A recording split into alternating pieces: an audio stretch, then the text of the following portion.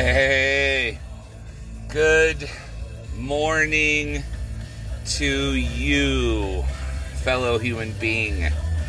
And out there doing what you have to do to feed your kids, to take care of yourself, to do whatever it takes to make it in the spiritually corrupt world that we are now living in. And what uh, what really I'm noticing, and I told this to my boy because we listen to all different types of music uh, hip hop, metal, blues, reggae, soul, um, whatever. I don't want to sit here and name them all, but I was telling him that all the rappers that have quality beats, lyrical skill, are actually trying to preach at you, trying to teach you something they all believe in God.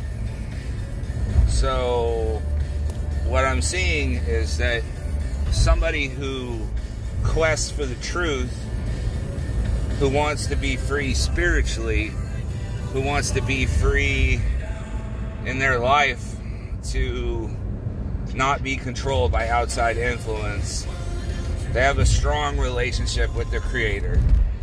And where that comes from, in my opinion, and this is just my opinion, not hard facts, is it comes from suffering, it comes from experience, it comes from finding things out of dark places, you know, finding the strength to become a single parent, to deal with all that BS that that comes with that that like having to do both jobs having to have a higher standard than than uh, most people put for themselves.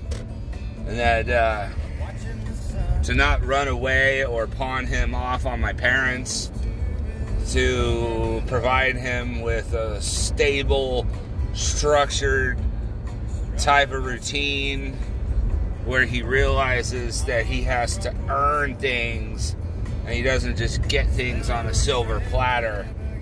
And that, man, it's a spiritual battle, dude, every day.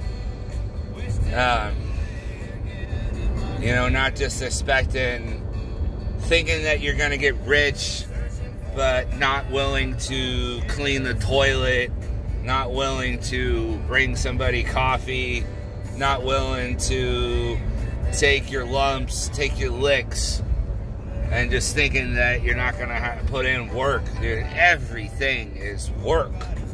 Everything. So, if you're comfortable and everything's just rosy, you're probably fucking up because you got a harsh awakening coming, dude.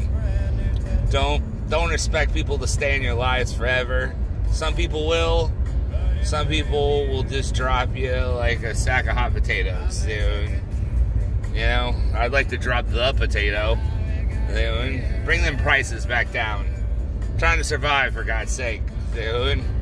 It's putting a damper in the in the fun money, dude. But you know, it's time to get minimalist.